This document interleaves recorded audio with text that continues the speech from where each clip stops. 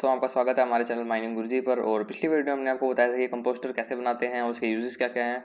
उस वीडियो पर हमें ज़बरदस्त रिस्पांस मिला है और हमारे सब्सक्राइबर वन ट्वेंटी प्लस हो चुके हैं तो थैंक यू गाइस इस सपोर्ट के लिए।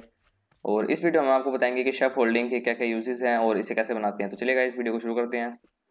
तो शेफ होल्डिंग बनाने के लिए हमें जिन चीज़ों की ज़रूरत है, वो है बैम्बू और थोड़ी सी स्ट्रिंग तो इससे मैं आपको बता देता हूँ कि आप बैम्बू और स्ट्रिंग से कैसे बना सकते हैं शेफ होल्डिंग तो आपको सबसे पहले बैम्बूस को कुछ इस तरीके से रखना होगा।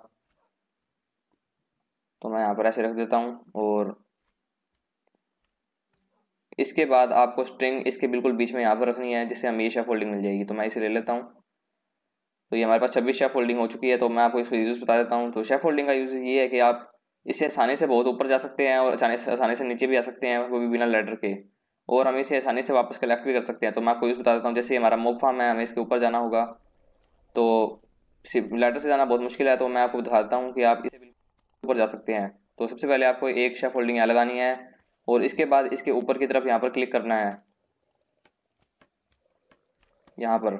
और आपको यहीं पर लगातार क्लिक करते रहना है गाइज़ जब तक ये सारी शेफ होल्डिंग खत्म नहीं हो जाती। तो ये देखिए गाइज़ ये शेफ होल्डिंग बहुत ऊपर तक जा चुकी है। और अब मैं इसके ऊपर जाकर जाकर दिखाऊँगा। पहले मैं इसको थोड़ा सा और ऊपर कर देता हूँ गाइज़ तो और आपको इसके ऊपर जाना है और आपको इसके ऊपर वाले बटन पर क्लिक करना है और मैं यहाँ पे स्पेस दबा रहा हूँ। ये देखिएगा इसी बिल्कुल आसानी से ऊपर तक पहुँच चुका है।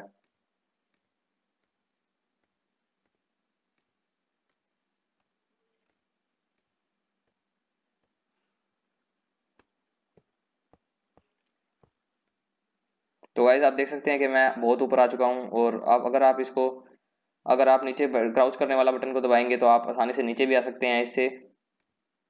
तो ये बहुत ही बढ़िया चीज़ है।